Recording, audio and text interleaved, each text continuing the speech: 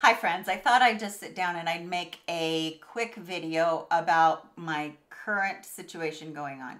This isn't anything to do with the surgeries I've had or anything like that, but this is kind of a take a breath Melissa type video. And I know that some people just do not like to hear updates about what's going on with health and, and stuff. So if that's something that you don't like to hear, just scoot along and you can watch my next video. But for those of you that are interested, I know that in the past little while I've talked a little bit about not feeling good and I didn't know why, um, but I do now. What happened to me was last Thursday, I started with some really severe back pain that was very different than any pain I'd ever felt before. It was way up in my upper back and I kept asking my husband to just go ahead and rub that and he'd give me a little bit of relief with rubbing, but not a lot.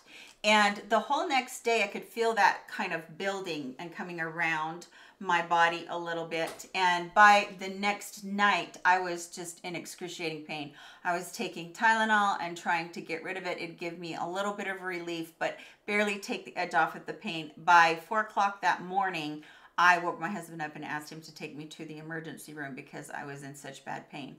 Got to the hospital and they of course start with the urine test, blood test, and both of those came back fairly okay. And so they ran a CAT scan.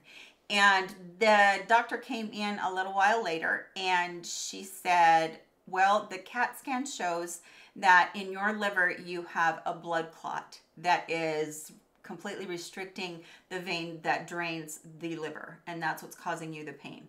And she says, and unfortunately, I have to tell you that there is also a mass in the liver next to that blood clot. And I looked at her and I said, What does that mean? She says, Well, the radiologist that looked at it is pretty sure that it's cancer because of the way that it's shaped and where it's formed. So, of course, my husband and I are the only ones there, and we just fall apart. And I say to her, um, so, do we know how this happened? No. Do we know what we can do? Not yet. We're going to get an MRI. We're going to get a biopsy and then we're going to go from there. And we're going to admit you to the hospital because your pain is so severe. We did feel like sending you home with that kind of pain would be very counterintuitive and that you would be back here begging us for more pain medication. So, we're going to admit you and try and keep your pain under control while we do all these other tests. I said, Is it for sure? She said, No but the radiologist is pretty sure. And I said, Well, is liver cancer curable? And she said, Absolutely. So, you know, she went out, and my husband and I just clung to each other and just couldn't believe this is happening. I'm 55 years old. Um, there's no history of cancer anywhere in my family, none whatsoever. So we were kind of hit upside the head. And it took them a while. Um, I did call my sister and I called my kids and um, my sister came straight down. My other, my um, son came down.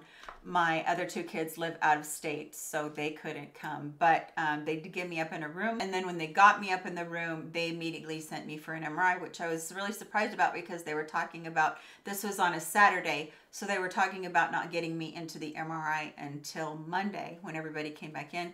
But um, they were pushing, and that scared me because if they're pushing what does that mean? So they sent me down for the MRI and the MRI radiologist again said that more than likely, yes, it was cancer. And they were talking about wanting to do a biopsy that day. Again, I'm freaking out because they're pushing so hard to have all of this done. And I, you know, I don't know why. Why are they being so aggressive with their treatment? Which, you know, in a lot of ways it was good because I didn't want to just be left hanging. And in a lot of ways it was just scary. So fast forward probably six to eight hours um, the doctor comes in the doctor that had had admitted me and the doctor that was dealing with me she comes in and she sits down on my bed and i'm like oh this can't be good. And um, she said well we had another radiologist come in and read the mri a second time and he feels like there's no cancer there's no mass there's nothing. The way that the clot was rounded and the way that the clot was around and kind of tentacled, they thought it looked like cancer, but he has been doing this for years and years and years. And he was just like, this isn't cancer. This is not anything that we need to worry about. the room, the whole room with all these people burst into tears. My nurse burst into tears. My doctor had big, huge tears in her eyes. And so it was just one of those fluke things that you go through in your life and you're like, why? But at least it wasn't cancer. And at least they were like, okay, we're not going to biopsy. We're, there's nothing to biopsy. And so it was like, whoa, wait a minute. So anyway, big tears of, of relief and joy and um, so glad that it wasn't that. But in the interim of all that, I'm like, why am I in so much pain then? And they said, because that blood clot is keeping your liver from draining and we have to really monitor that well. So long story short, I'm on extreme blood thinners. I will be on those for approximately a year. They're thinning the blood in the hopes, not necessarily that it will dissolve the clot, it will over time, but the blood has to go around the clot and be able to drain through there so the liver doesn't hurt so bad. And so until that actually happens all the way, I'm in a lot of pain. And so I've got this band.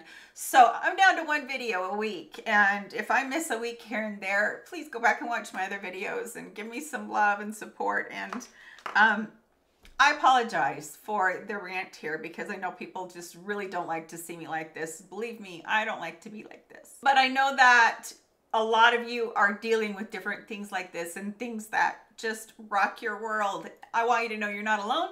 I want you to know that we're here for you and that we're trying to just get through this the very best we can. My channel is not always about fluff. My channel is about real and this is real. This is real life. Also, I know that I want to update you about my son who is not doing very well. Please keep him in your prayers as well. We just have a lot going on. So I'm going to keep you in my prayers because so many of you comment and tell me the things you're going through. And if I don't comment back on this video, it's because there's just such an outpouring of love and i want you to know before you even before that even happens that the little heart that i that i give you right there where i heart your comment that means i've completely read your comment and I wish I could spend as much time as possible hearting those comments. Unfortunately, I just don't feel good enough right now.